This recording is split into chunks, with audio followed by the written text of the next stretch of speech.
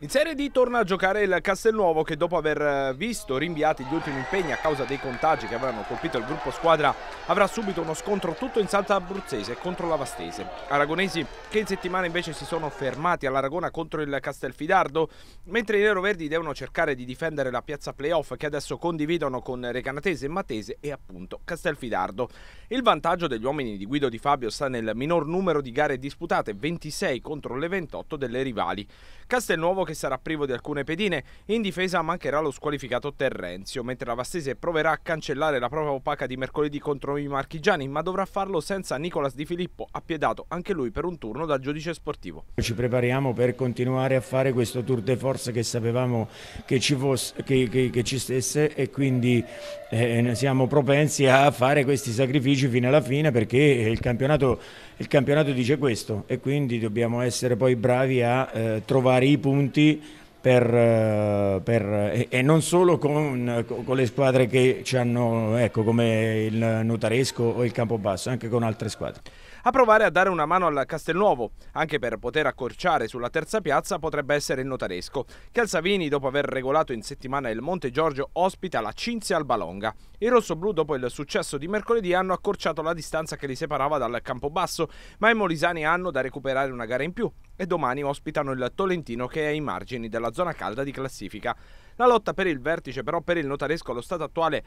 passa per forza di cose da una flessione del Campobasso che tuttavia sembra lanciatissimo verso il salto di categoria.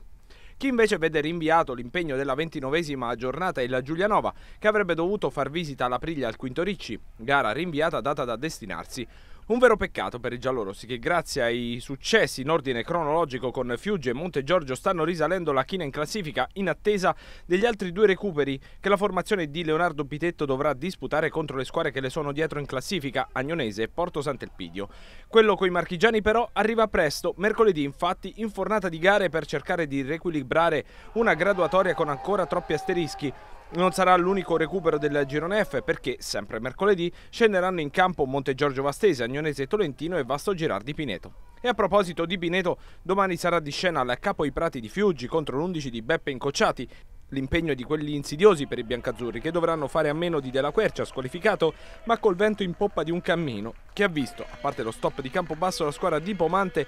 inanellare una serie di risultati che stanno riportando il Pineto a pochi passi dalla zona playoff. Guarda, è stata una bella emozione ritornare in campo, dopo veramente sono passati 3-4 mesi ed è stata un'emozione unica soprattutto perché era il mio giorno del compleanno